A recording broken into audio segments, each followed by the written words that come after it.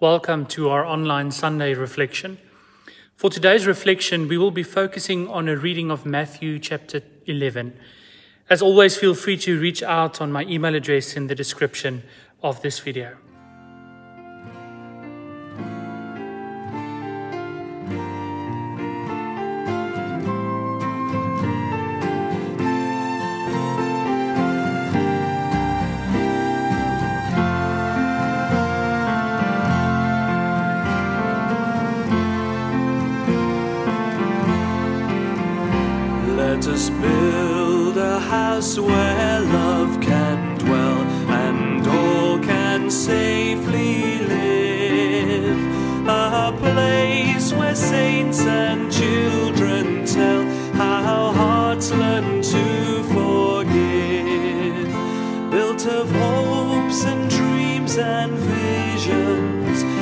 Of faith and vault of grace.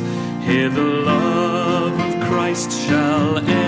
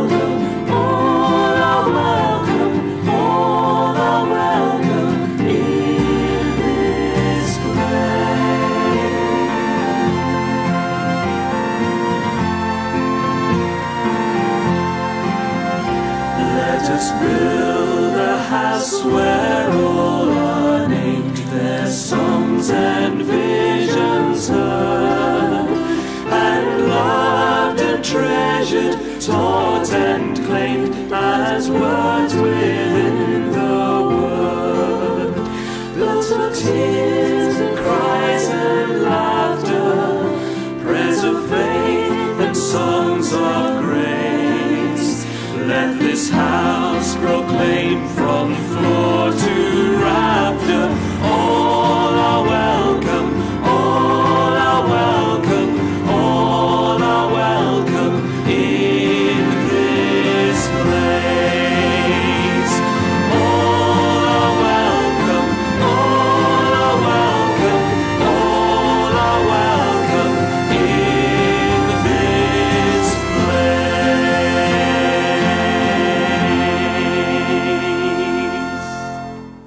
In the first part of chapter 11 of Matthew's Gospel, Jesus is talking and teaching the masses when some of John the Baptist's disciples come to Jesus in front of the crowds to ask him a question. John sent them to ask Jesus, Are you the one John said was going to come, or should we expect someone else? John was imprisoned at this stage, and it just shows how much he must have been suffering and even doubting the mission he had been sent on. John wanted to know if his imprisonment and suffering was part of this path of declaring Jesus' arrival, or has he been foolish and is he suffering for nothing? Jesus reassures him by sending his disciples back with a message that the blind can see and the lame can walk. Jesus is reassuring John that all is going according to plan. He, Jesus, is the Messiah and his kingdom is on its way. But Jesus does something very interesting. While John's disciples are making their way back to their camels or horses or donkeys to return with the good news Jesus has just imparted to them, Jesus makes use of the opportunity to tackle the issue that indirectly led to John's imprisonment and which would eventually lead to his own death on the cross. namely the fickleness of human understanding and the human need to compartmentalize and rationalize. Jesus was aware of the fact that John was imprisoned for baptizing people and declaring the coming of the Messiah. And Jesus knew that he himself would be put to death for upsetting the religious status quo of the day. He says in verses 16 to 19, Now to what can I compare the people of this day? They are like children sitting in the marketplace. One group shouts to the other, We played wedding music for you, but you wouldn't dance. We sang funeral songs, but you wouldn't cry. When John came, he fasted and drank no wine, and everybody said, He has a demon in him. When the Son of Man came, he ate and drank, and everyone said, Look at this man, he is a glutton and a drinker, a friend of tax collectors and other outcasts. God's wisdom, however, is shown to be true by its results. For me, this example of Jesus evokes many memories of my own childhood. When I was a child and I was spending time with other children at family gatherings or parties, we would run around and play all kinds of pretend games.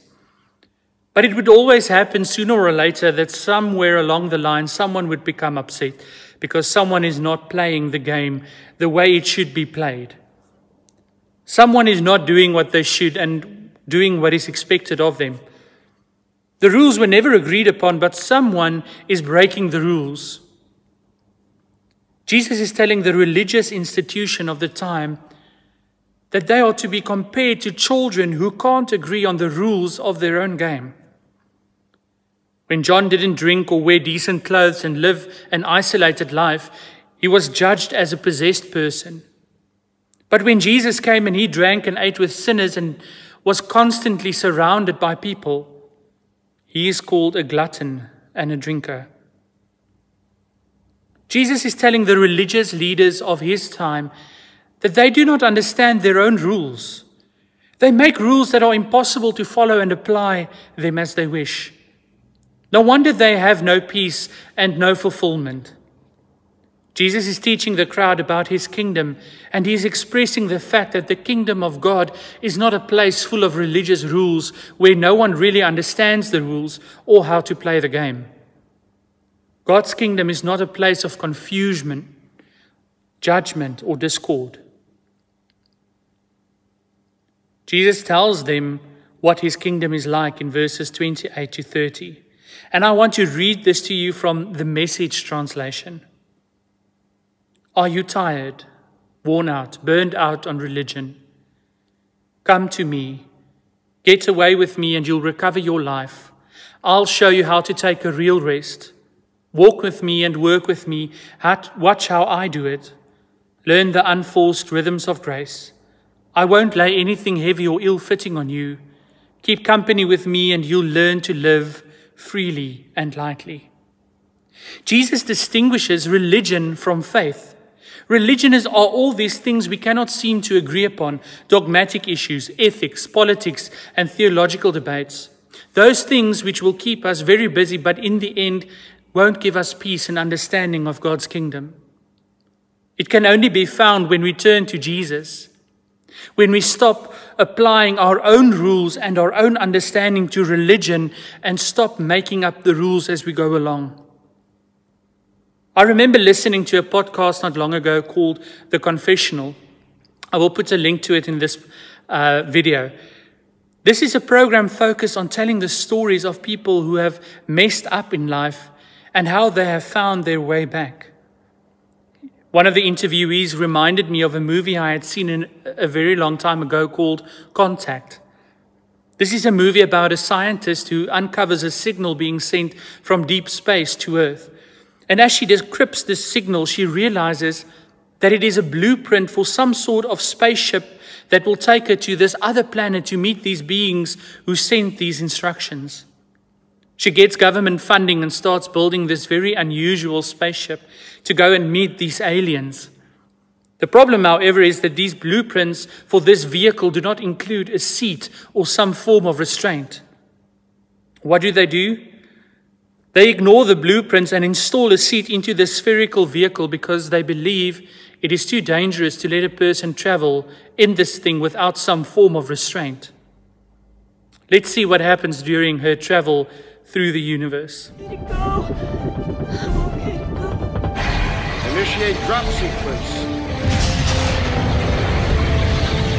On my mark. Ten. Nine. Power transfer. Eight. Seven. Six. Five. Four.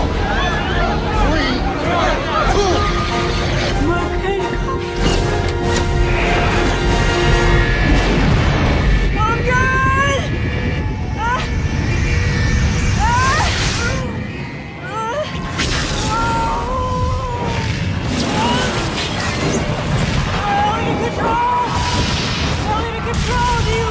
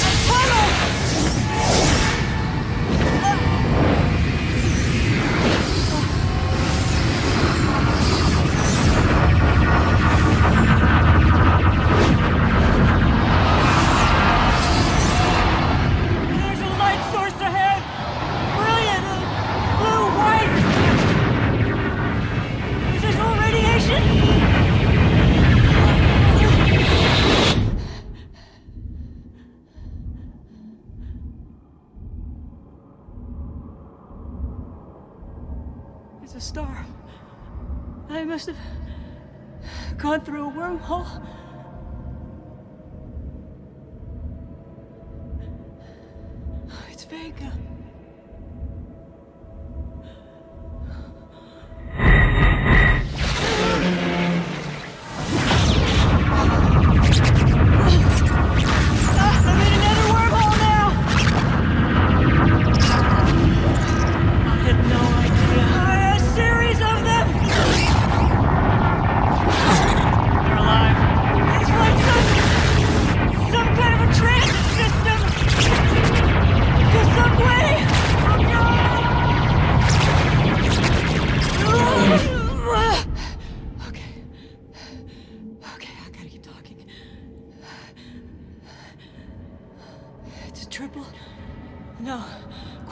System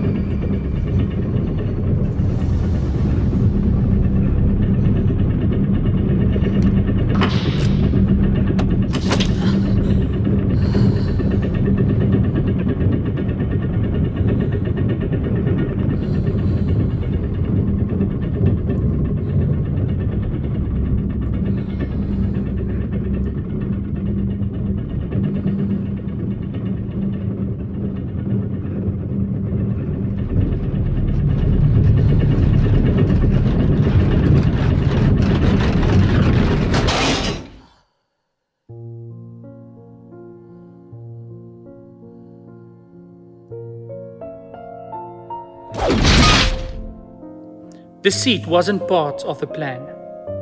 The designers and engineers who had put the blueprints together meant well, their hearts were in the right place, but their addition to the instructions provided provided a much more unsafe environment.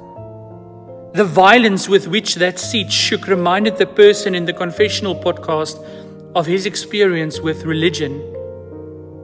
He did not fit, fit into the mold of what would be considered a good person or a good Christian. His sexuality and theological beliefs were issues for the church, but he stayed. He said it was like being strapped into that seat and you being told that it's for your own safety, but it is a violent and an unstable place to be. When he took Jesus seriously, when Jesus said that faith is not like religion, that it is not supposed to be a violent, confusing, and unstable place, but a place of safety, love, and peace, he said it was like unbuckling from that seat and floating in the peace and beauty of God's kingdom. I'm going to conclude today with the verses of 28 to 30 from chapter 11 of Matthew's Gospel again. And I want us to listen to it again. Let us hear the invitation to unbuckle ourselves from the seats that were not part of God's plan for His church. Let us hear the invitation to be freed from a place of violence and confusion and drift into a place of real, lasting peace called God's kingdom. Are you tired, worn out, burnt out on religion? Come to me. Get away with me, and you'll recover your life. I'll show you how to take a real rest. Walk with me and work with me. Watch how I do it. Learn the unforced rhythms of grace. I won't lay anything heavy or ill fitting upon you. Keep company with me, and you'll learn how to live freely and lightly. Amen. Almighty Father, who covers the earth in your divine mercy with a curtain of darkness so that all who are weary may rest, grant us all to rest in you this night. Let your grace comfort and support all who are to spend it in sorrow, in loneliness, suffering, or fear. We pray that you give us the courage through your Holy Spirit to unfasten ourselves from places which may seem safe and logical, but only restrain us from experiencing your peace and grace. We commend ourselves into your hands together with all who are dear to us. Strengthen and confirm your faithful people, stir up the careless, relieve the sick, give peace to the dying, that your holy name may be glorified. In Jesus Christ, your Son, our Lord. Amen.